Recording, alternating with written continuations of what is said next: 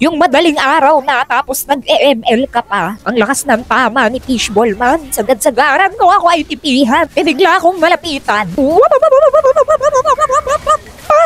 Isang ubo na lang, tililing, tubasin mo na. Pero wala yung tililing niya naglakad sa lupa. Si Fishball man, hindi na ako binalikan. Kaya pagkakataon ko na para ang power dito ay mabawasan. Siyempre, anong gagawin? Alam nga naman titigan. Eh di ba, baklasin na natin agad-agad yan. Isang babaeng may payong ang inawangan ko sa damo. At lumapit ako, sabay sinapak ang damo hangin tubig kanino.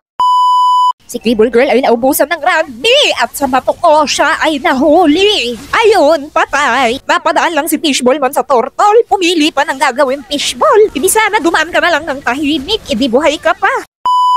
Balitang balita, isang babaeng bubuyog na naglalakad hinabol ng nagtitinda ng payong. Ngunit nabungi siya ng pinagsusuntok ni Tito Bagang na nakaabang pala sa damo. Ayun, patay! Tila may lahing impaktong pusa ang fishball mo na nandito. Pinagsusuntok ni Tito Magdang at talagang nagkaroon ko ng pagkakataon para makatakbo ng mabilis at natakasan ako. Nagtago ako dito, nagantay ako ng darating na kalaban. Pero lumabas ako kasi wala na akong maaantay dahil inuubos ng mga kakampi ko eh. Dahil gusto kong makabugbog ng tao. Ayan, kahit sa torre pinapasok ko. Hindi namin natapos yung laro kaya nagtago ulit ako dito. Lumipat ako dito kasi nabulok na ako dun sa isang damo wala talagang nagpunta. Tagong-tago ako dun sa damo, tapos pagtingin ko, ubos na pala kaya. Sa sobrang gusto kong makapatay, andito ako nag-aantay hanggat sa yon ako ang namatay. Victory!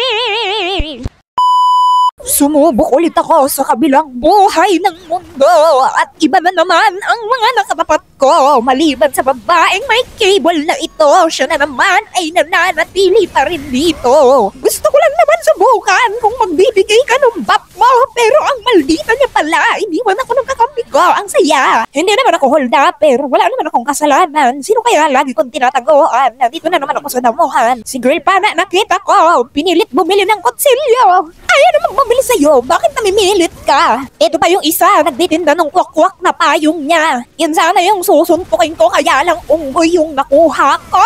Animal abuse na ba ako nito? Hindi naman ako alahas, pero kanina niya pa ako pinag-iinteresan. Hindi niya ako tinigilan hanggat ang pana ay hindi ako tamaan. Hindi ako si Berna, pero abugbog talaga kita. Ako ay naglalakad na nagpapanggap na hindi nakakakita ng iba.